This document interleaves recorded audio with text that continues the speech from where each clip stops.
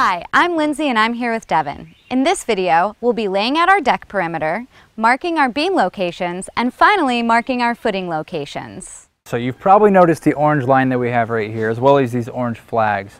So anytime that you're gonna be digging on your property, like in our case, we're gonna be digging the holes for our footings, we need to know the location of our underground utilities. This service is only for public utilities like water, gas, electric, phone, or other communication systems. If you have private utilities like a well or a septic system, a private company will need to locate those utilities for you. Okay, so now we're ready to lay out the perimeter for our frame of the deck. Okay, what we're really looking for though is we want to get the locations for our beams, which is ultimately going to give us locations for our footings. All right, so as we're doing this though, the first thing we need to do is we've already determined where our deck is gonna be.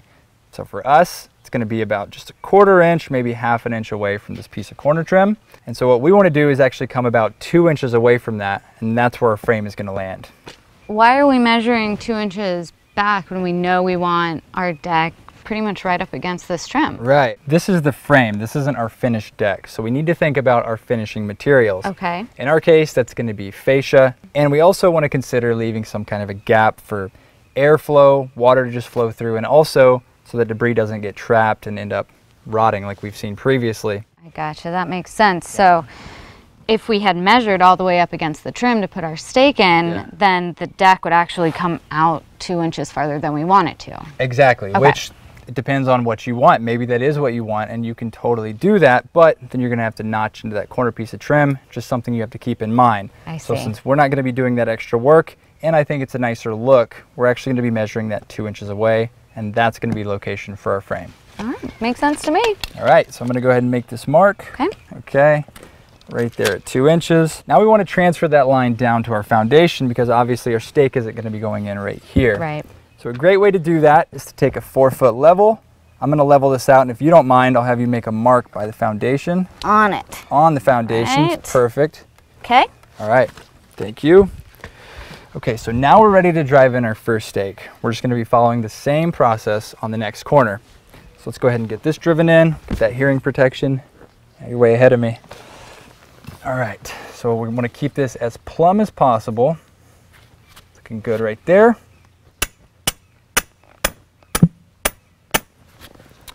Okay, ready to move on to the next one. Great. The next thing we're gonna do is establish our corner stake. All right. All right, so I'm gonna have you measure out 15 feet away from the house, and you kind of need to stay in line with the foundation, just roughly.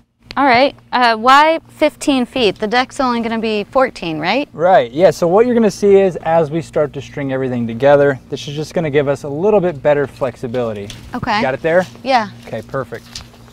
Down towards you. All right, so now we're a foot past the front of our deck frame. Mm -hmm. We're also gonna go a foot over. And again, what this is gonna do, so imagine that we have a string going right here. Now that gives us flexibility to move that string around. I see. Make sure that it's square. Gotcha. Okay, so go ahead and go about a foot over. Could be more, the foot is just an arbitrary number. Could be two feet. All right. Good there? To do it. Okay, so now we're past the front of the edge and we're over. So we're gonna go ahead and put our stake there. Cool. We'll be doing the same thing on the other corner as well.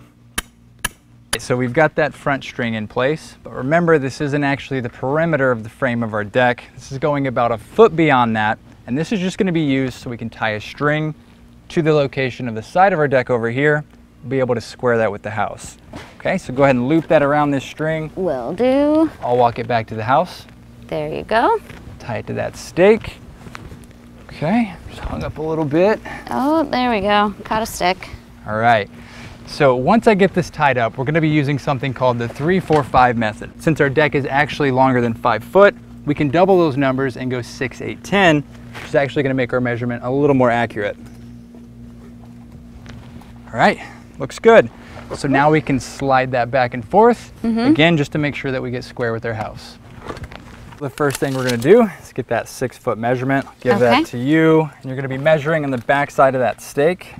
I'll come down here, I'm gonna make a mark at six foot. Okay, now that we've got that, I'm actually gonna switch this around. All right. So now we're looking for that eight foot mark. Sure. I'll be measuring away from the foundation of the house, and then just make a mark on the string at eight foot.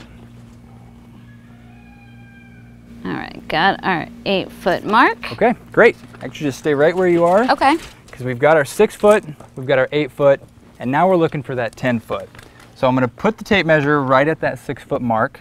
I'm gonna be using the, the tape, part of the tape away from me, so the part closest to you. Okay. You'll be using the same side. And what we're looking for, we wanna line 10 foot up with our eight foot mark that we have on the string. Okay. So how do we look? So we're just a little off. Okay. Looks like we'll have to move this line out just a hair to, to get that on the mark. Perfect. All right, make that adjustment. Okay. Let's see if we're any closer. All right. Okay. We'll just do the same thing. Got my tape at six foot. How do you look? Uh, we are perfect. All right, I like Looks perfect. great. Yeah. Okay, so now what that means is the side of our frame is square with our house. Okay, so we just need to do the same process for the other side, and then the sides of our frame are gonna be square. Sounds good.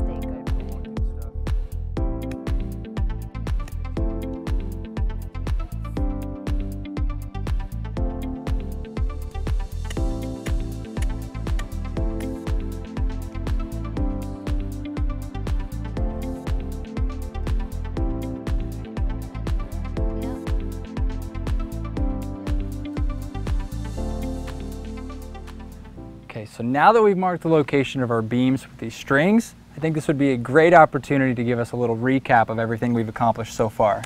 Absolutely. We've squared up the sides with the house. Right? Marked our beam locations, as you just said, and we've done all that to get to this point of marking our footing locations. Yeah, so we are finally ready for our footings. Okay, so our first post is gonna be right here, but according to our plans, we actually have a cantilever of our beam one foot past our post. So we're gonna be measuring one foot away from the edge of our deck frame right here. Okay. And we don't want to be to the edge of our post. We're going to be right in the center. So I'm going to measure to the center of that post. I'll make a mark right here. In our case, that's 14 and 3 quarter inches All right. right there. Okay, so now what we're going to do, we're measuring from the center of this post to the center of our next post. Okay. So I'm going to give this to you. I'm All right. going to be measuring to 7 feet and 9 inches. Okay. We are at seven, nine. Okay, great. Now we're going to be doing the same thing, 7 feet 9 inches to the center of our next post. Okay, so that's 15, six. Got quick math going on. I like it. yeah, yep. 15, 6, and I see that we've got our utility right here, but we are more than two feet away, so we should still We're be perfect. good, right? Yep, we're in good shape. Great. All right, I'm gonna let go of this. All right. Okay, so our last post location is gonna be really easy because it's gonna be flush with the other edge of our frame. So we'll get that location marked. Then we're gonna do the same process on this beam right behind me here.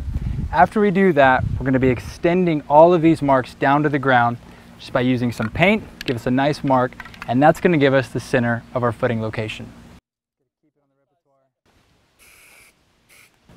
Okay, so we've transferred that mark down to the ground, but again, this is marking the center of our footing locations. Now we're gonna be finding the perimeter where our post hole is gonna go. Okay. Okay, so I think a great way to do that is to take a 12 inch concrete forming tube, because in our case, that's gonna be the diameter of our holes, right? Right. So we're gonna slide this underneath. We'll be using this as a pattern. So as long as we line that up with the mark that we already have, again marking the center, now if we just paint around or inside, we'll have the location that needs to be dug out. This is great. So if we didn't have this, would we just have to measure the 12 inch diameter? Yeah, it's exactly what you would do. You could take a 12 inch measurement, put your six inch right in the center, and then do the same thing in two directions. Then you can paint a circle and dig that out. Again, it's fine, you can get pretty accurate with that, but think this is a really quick way to do it, and especially with two people. Now we can quickly throw it down, paint, and then you'll move on to the next hole, and we'll just keep moving that way. I like it. Okay, all right, let's go ahead and paint this first one.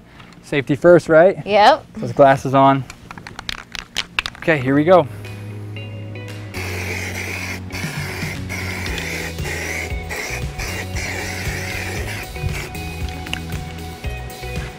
All right, look at that. Perfect. Now we know exactly where we have to dig out for our first footing. We're gonna be doing this entire process again for the middle deck and for our lower deck all the way on the end. Okay, so now that we've got all the locations for our post holes marked, our next step is gonna be to come back and dig the holes for our footings.